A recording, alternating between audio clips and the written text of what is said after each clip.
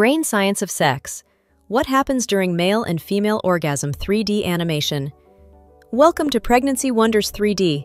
Today, we explore the brain science of sex, examining what happens during male and female orgasm through evidence based research and 3D medical animation.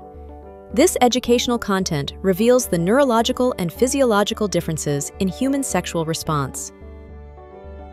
Anatomical foundations the male sexual anatomy centers on the penis, containing approximately 4,000 nerve endings, concentrated in the glans and frenulum. The female sexual anatomy involves the clitoris with over 8,000 nerve endings, twice that of male anatomy.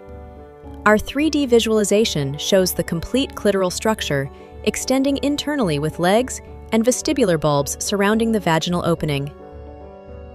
Brain science of orgasm. During orgasm, both sexes activate the genital sensory cortex, limbic system, and hypothalamus. However, brain imaging reveals female orgasm shows increased activity in the anterior cingulate cortex and insular cortex, associated with emotional processing and pain modulation. The prefrontal cortex actually decreases activity during climax in both sexes.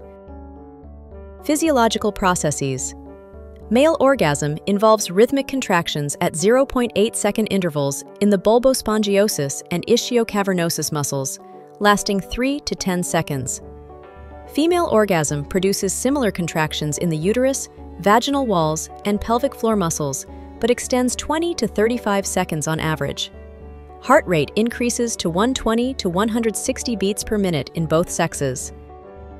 Hormonal chemistry both sexes release oxytocin, dopamine, and endorphins during orgasm. Males experience a significant prolactin surge post-orgasm, contributing to the refractory period of 15 minutes to several hours. Females show sustained oxytocin levels without a refractory period, enabling multiple consecutive orgasms. Factors affecting response. Psychological factors including stress, relationship quality, and body image significantly impact orgasmic function. Medical conditions such as diabetes, cardiovascular disease, and certain medications can impair sexual response. Age-related hormonal changes affect orgasmic intensity and frequency in both sexes. Conclusion Understanding the brain science of sex enhances sexual health education and medical treatment approaches. This neurological knowledge contributes to better healthcare outcomes and relationship satisfaction. Subscribe for more evidence-based medical education content.